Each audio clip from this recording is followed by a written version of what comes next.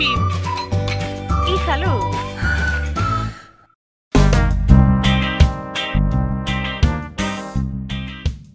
Hola amigos de YouTube, ¿cómo están? Aquí les habla Brenda. Hoy les voy a hablar sobre todo lo que queremos saber las mujeres sobre higiene femenina.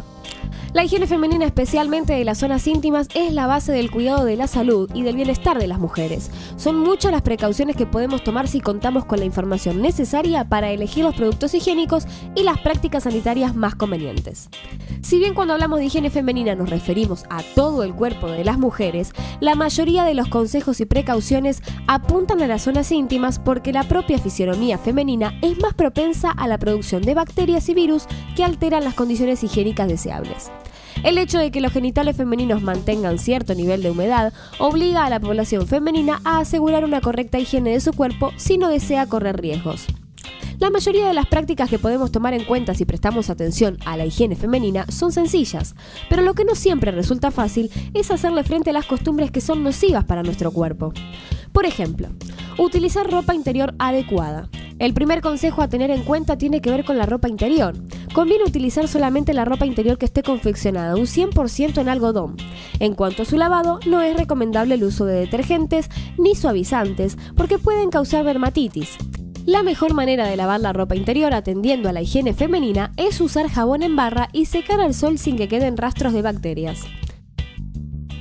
Higiene vaginal.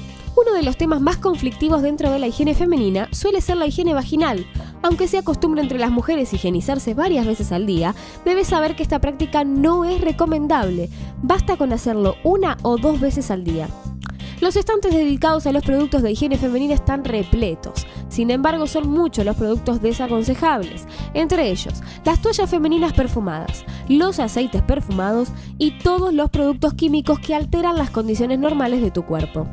Los cosméticos vaginales pueden producir infecciones, así que resultará mucho más saludable el empleo del jabón neutro o de algún producto que te recomiende tu ginecólogo para la particularidad de tu caso. El jabón neutro también es bueno para realizar la higiene femenina posterior al acto sexual.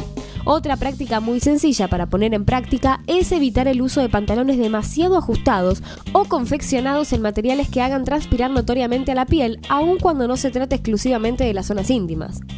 Infecciones de transmisión sexual. Las infecciones de transmisión sexual, ITS, son otro de los grandes enemigos de la higiene femenina. El método más eficaz para prevenir estas enfermedades es el uso de los preservativos, que además es un método anticonceptivo altamente eficaz. Menstruación. Durante la menstruación la higiene femenina adquiere mayor relevancia aún, pero aquí los temas tabú también están presentes no es recomendable que utilices spray o desodorantes femeninos porque son contraproducentes. Eliminan los agentes de limpieza que produce el cuerpo naturalmente. Sí es bueno que cambies las toallas higiénicas o los tampones con asiduidad. Ducha diaria. Para la higiene femenina general es importantísimo que tengan la práctica cotidiana de ducharse. Todos estos consejos generales y específicos para las zonas íntimas tienen en cuenta el funcionamiento normal del cuerpo de las mujeres y no eximen a nadie de la consulta al ginecólogo y al médico general o al dermatólogo. Muy bien amigos, espero que les haya gustado, mujeres a tenerlo muy en cuenta. Les mando un beso grande desde aquí, Brenda.